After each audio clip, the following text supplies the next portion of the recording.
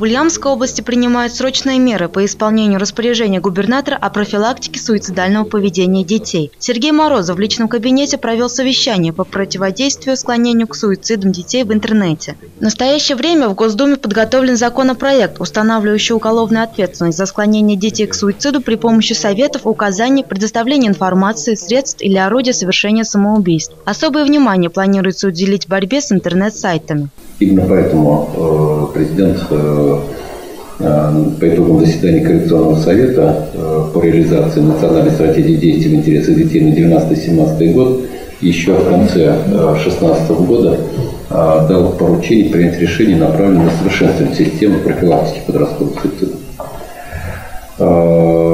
И я хочу привести еще одни страшные цифры, но уже касается конкретно нашей страны. По данным Следственного комитета Российской Федерации, в 2016 году ушли из жизни в результате самоубийства 720 детей. За последние три года вообще совершили суицид 2205 детей. Это печальная статистика.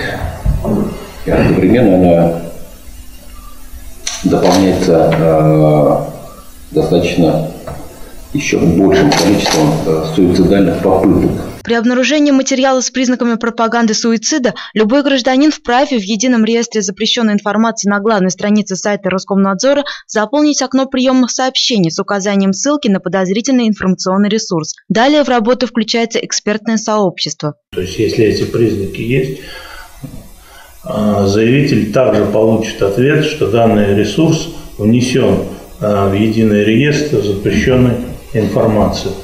А, таким образом, функция а, Роскомнадзора на данном этапе заканчивается, поскольку сейчас в автоматическом режиме дважды в сутки а, со стороны операторов связи, которые осуществляют предоставление услуг доступа к сети интернет, осуществляется выгрузка запрещенных ресурсов из этого единого реестра и блокировка последующая.